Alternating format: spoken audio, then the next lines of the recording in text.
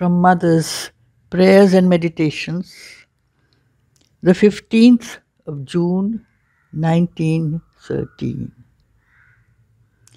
Even he who might have attained a perfect contemplation in silence and solitude would have arrived at it only by withdrawing from his body, by disregarding it, and so the substance of which the body is constituted would remain as impure, as imperfect as before, since he would have left it to itself.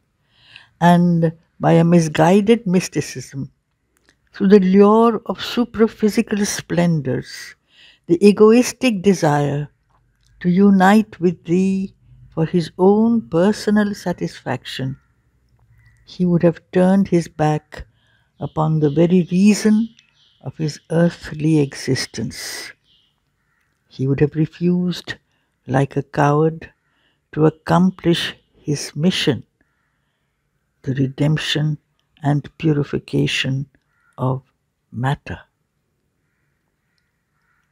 To know that a part of our being is perfectly pure, to commune with this purity, to be identified with it, can be useful only if this knowledge is later used to hasten the transfiguration of the earth to accomplish thy sublime work.